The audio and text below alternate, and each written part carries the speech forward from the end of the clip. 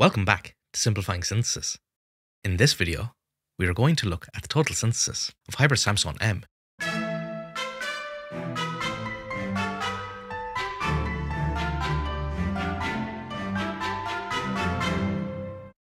This work was carried out by Adrian Samkian, Scott Virgil, and Brian Stoltz, and was published in JACS.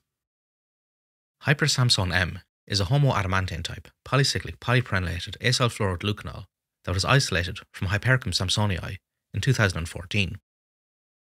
Related compounds from the PPAP family have shown a broad spectrum of bioactivities, including anti-tumor, anti-inflammatory, hepatoprotective, and anti-adipogenesis properties.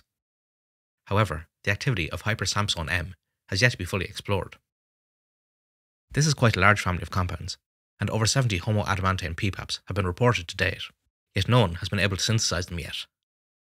This is in stark contrast to the adamantane type PPAP family, which contains a 6 rather than a 7 membered central ring. Even though there have been fewer adamantane type PPAPs reported, there has already been three syntheses, as the central 6 membered ring is a much easier target than the 7 membered ring found in the homoadamantanes.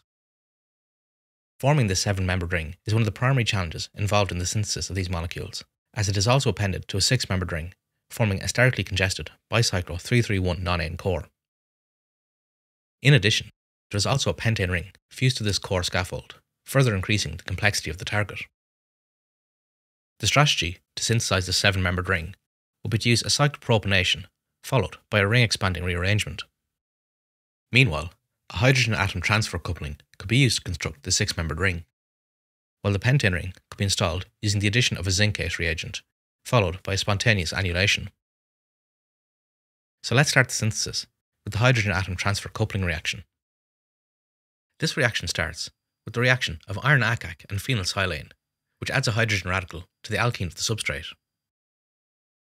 This leaves a radical residing on the stabilized tertiary position, and this then adds to the beta position of the enone, once again generating a radical intermediate. This is reduced by another equivalent of phenylsilane, forming the product in a 48% yield.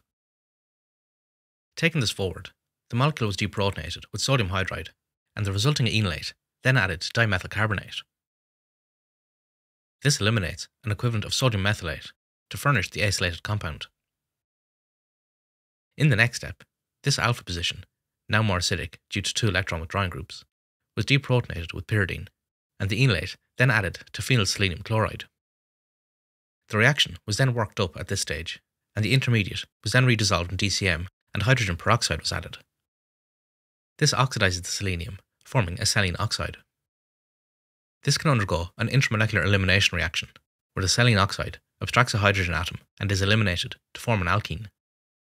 This formed the target product in a 73% yield over two steps. In the next step, this newly formed enone acted as an electrophile and was attacked by a zincate reagent bearing an alkyne group. The enolate intermediate formed by this attack then undergoes an intramolecular addition to the alkyne forming a five membered ring. Hydrolysis of the resulting zinc complex produced the target compound in a 65% yield with a 6.3 to 1 DR, favouring the syn product. The alkene was then hydrogenated using palladium on carbon and hydrogen gas, and the product was taken forward to the next reaction without purification. In the next step, a diazoacetate was deprotonated with LDA, and this added to the ketone to form a tertiary alcohol upon protonation with acetic acid forming the product in an 88% yield over two steps. This diazo compound was required for the ring expansion rearrangement. A bis rhodium DFA complex reacts with this diazo center, eliminating nitrogen gas to form a rhodium bound carbene. The unoccupied p orbital of the carbene can overlap with a carbon hydrogen single bond, causing an insertion to occur, forming a cyclopropane ring with the elimination of the rhodium catalyst. This cyclopropane can then undergo a ring expansion, breaking the carbon-carbon bond to form a seven-membered ring, together with the oxidation of the tertiary alcohol to a ketone. This ring expansion was remarkably efficient, forming the challenging seven-membered ring in a 92% yield. In the next step, the alpha position was deprotonated with sodium hydride, and the resulting enolate then attacked prenyl bromide. The product was formed in an 89% yield as a single diastereomer and this selectivity was likely driven by the conformational rigidity of the bicyclic system. With this in place, dependent ester could then be removed. The TMS group is deprotected with TBAF, and this promotes an elimination sequence where ethylene and carbon dioxide are both eliminated and lost as gases, leaving a negative charge residing on the alpha position. This is then protonated with ammonium chloride. Despite efforts, the stereochemistry of this tertiary position could not be conclusively determined. In the next step, the hydroxyl group that was also revealed by the TBAF deprotection was oxidized using Dess-Martin periodinane. The hydroxyl group attacks the iodine center, eliminating a molecule of acetate. This acetate then acts as a base to deprotonate the molecule and eliminate the DMP byproduct, converting the alcohol to an aldehyde. The product was formed as a single diastereomer with a 79% yield over two steps. Taking this aldehyde forward, it could then take part in an aldol cyclization lactonization sequence. The compound was reacted with tosylic acid to promote the formation of an enol that could then add to the aldehyde.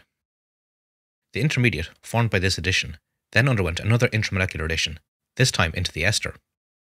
This eliminated an equivalent of methanol and formed the tricyclic lactone in a 46% yield, with 30% recovered starting material. This lactone proved to be remarkably stable, and all attempts to hydrolyze it failed. To bypass this problem, they instead converted it to an amide. Aniline hydrochloride was first reacted with trimethylaluminium, forming a highly nucleophilic amine aluminium adduct. This attacked the lactone, forming a tetrahedral intermediate that then collapsed to open the lactone ring and form the anilide upon workup with Rochelle salt. The alcohol could then be oxidized to a ketone, again using DMP as we saw before. In the next reaction, this amide was methylated using Meerwein salt, together with ditert-butylpyridine. This formed a methyl imidate intermediate that was then attacked by the enol tautomer of the ketone, eliminating methanol and forming a new carbon-carbon bond. The resulting imine could then be hydrolyzed using HCl and ethyl acetate to form the product in a 67% yield. With the polycyclic framework now complete, all that remained was to install the pendant benzoyl group. The alpha position was deprotonated using lithium TMP, and the enolate that was formed then attacked benzoyl chloride to complete the synthesis of hypersampsone M. Well, I hope you enjoyed the synthesis. Join me in the next video where we will look at the total synthesis of ganoapplanin.